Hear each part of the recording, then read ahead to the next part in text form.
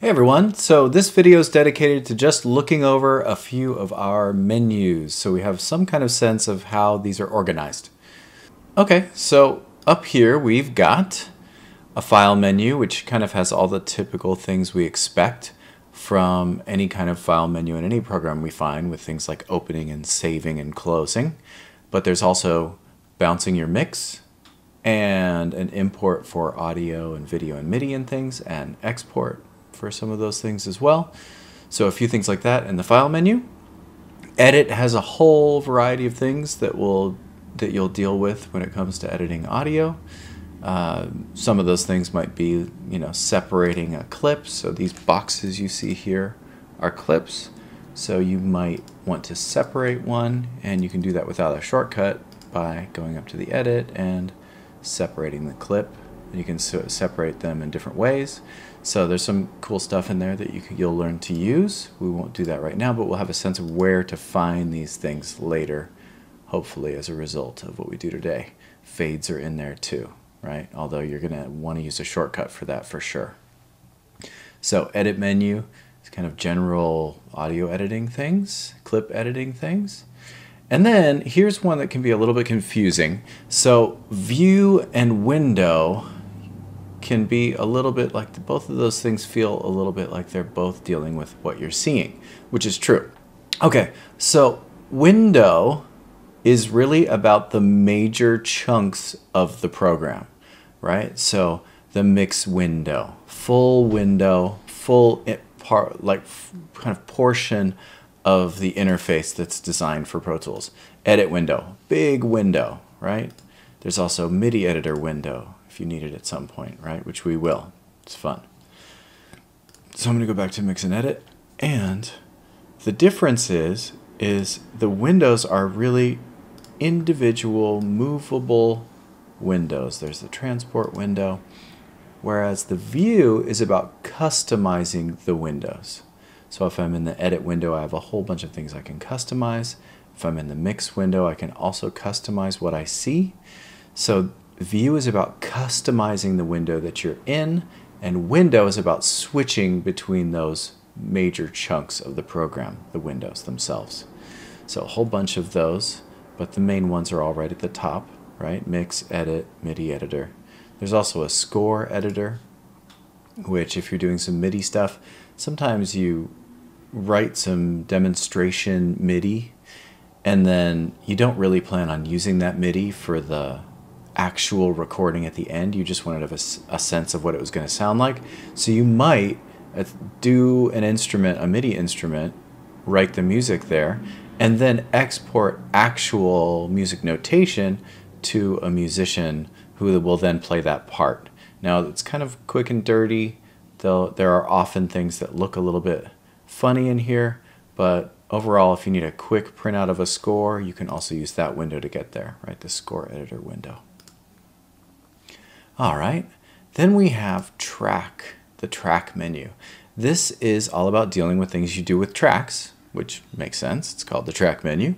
So it's also the place where you create a click track. That's one of those places where when you first start with Pro Tools, it's a little confusing because you'd think, oh, I just make a new track, track new, to get a click track, but a click track is a special thing. And so it's its own button. So create click track is there. Don't expect to get a click track if you just click new. You'll get other kinds of tracks when you do that. So it'll give you different choices. So things like audio track or instrument track, MIDI track, master fader. So we have a variety of things we can do. We can split a stereo track into mono, uh, freeze a track or commit a track. We're going to learn about how all these things work. Separately bounce a track, a single track. So all the things that are kind of special that deal with tracks are there.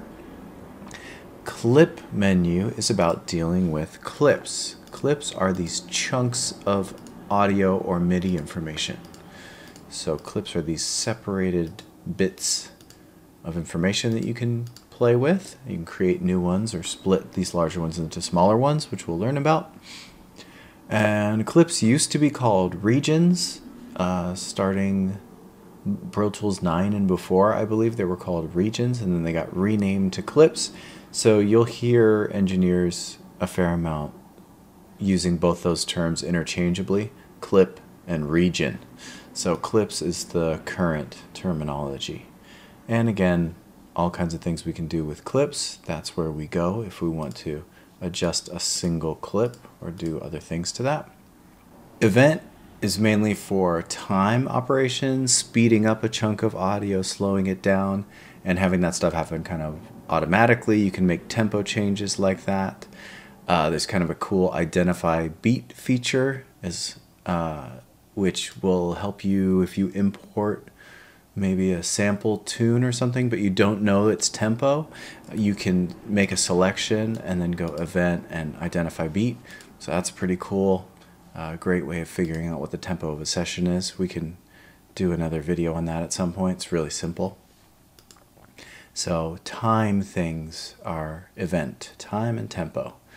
Audio Suite is plugins that you want to render a chunk of, you want to render to a chunk of audio uh, without having it being in real time. So maybe I want to just apply a plugin like a reverb or some kind of effect to one small piece of audio. Um, and maybe I don't want to do that real time. I know exactly what effect I want. I'm just going to leave it there. Uh, audio Suite is the way to go. Otherwise, you will put effects on in the mix window in this inserts section or on a bus track, which we'll learn about. Uh, Audio Suite actually has a few plugins too that aren't available in real time, like a reverse of the audio. You can't do that real time. It doesn't know what to reverse or where the edges are of the chunk of audio that it's supposed to flip around.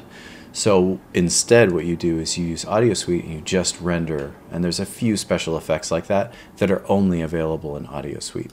So just to demo that, for instance, I have this little bit of drum audio here that I'll solo.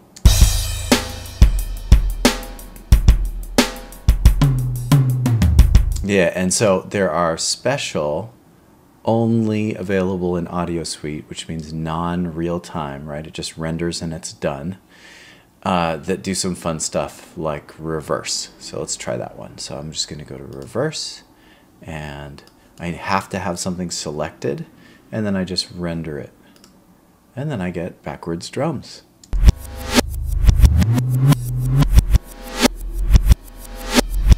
So all kinds of cool stuff like that that you can do with Audio Suite that um, might not be available in a real-time plugin.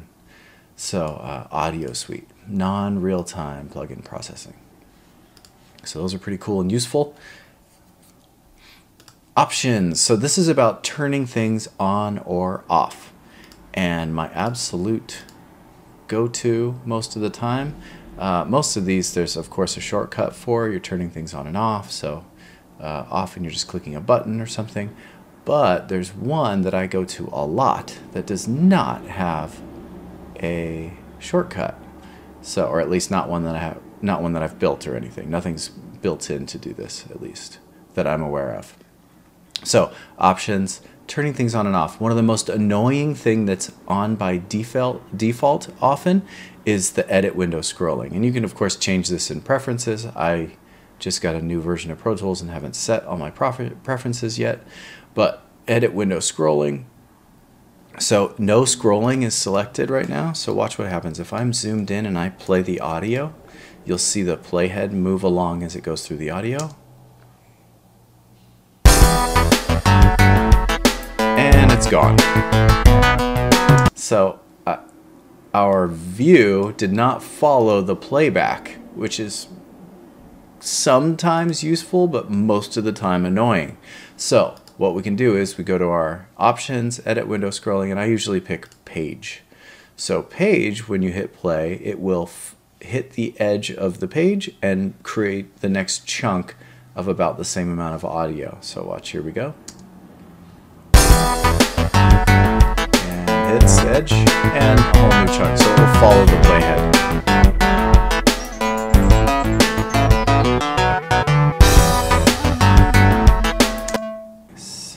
Options, toggling things on and off, MIDI things on and off, loop playback on and off, right? So toggling options. Setup, we've already dealt with the playback engine dialog, and these are all dialogues. So you frequently use the hardware, playback, and I.O. for sure. I.O. stands for input and output.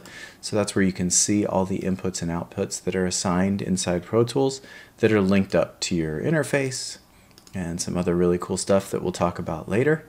But these are all dialogues. Dialogues are windows that open and require you to interact with it before it will go away.